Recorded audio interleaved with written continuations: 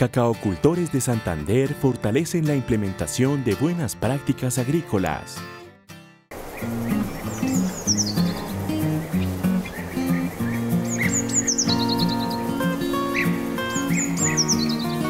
Yo soy Doli Paola Gómez, me encuentro dedicada a la transformación de productos de cacao desde el origen. Es decir, tenemos en cuenta nuestra plantación hasta nuestro producto final. Es un emprendimiento donde involucro a todos acá en la familia.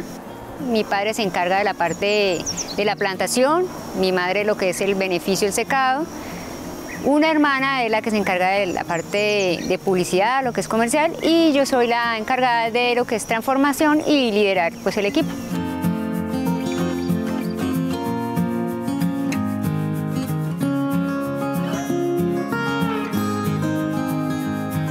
Mi nombre es Jairo Gómez, administrador de empresas. Hace siete años estoy dedicado al cacao en la parte de la siembra del cacao. Desde hace tres años estamos implementando las buenas prácticas agrícolas con el ICA porque es un gana-gana.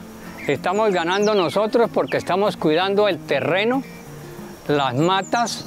Los consumidores actualmente buscan bastante que todo lo que consuman, cualquier tipo de alimento, lleve las buenas prácticas agrícolas para su organismo. Por eso decimos que es un gana-gana.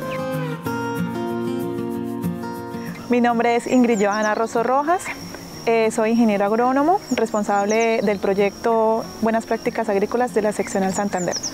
El proceso de certificación e implementación de las buenas prácticas agrícolas en este predio ha sido excelente debido a que el productor, primero que todo, tuvo la voluntad y la iniciativa de, certificarse con las buenas prácticas agrícolas.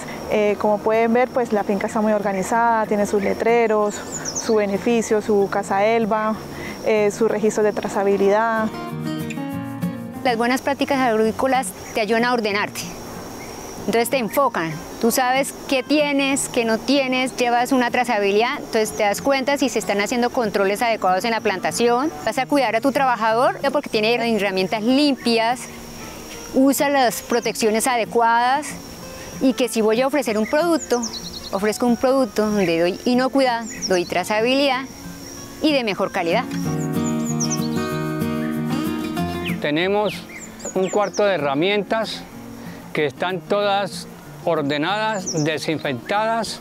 Cuando se entra a la plantación, también se va desinfectando cuando se pasa de una mata a la otra.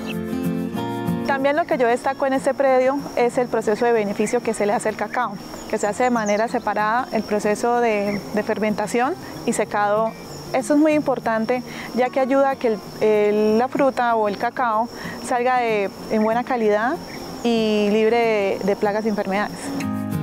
El apoyo del ICA ha sido magnífico porque nos están dando pautas permanentes con las cuales podemos estar mejorando los cultivos para que salgan muy bien la producción y fuera de eso tener muy buenas matas. Bueno, mi mensaje a todos los cacauteros de Santander para que implementen las buenas prácticas agrícolas es que esto los va a ayudar a que esa finca eh, entre un mercado especializado, saque un producto inocuo, no se requiere mayor inversión para poder certificarse con las buenas prácticas agrícolas. Apostarle a las buenas prácticas agrícolas mejora todo el proceso, mejora el cielo, la tierra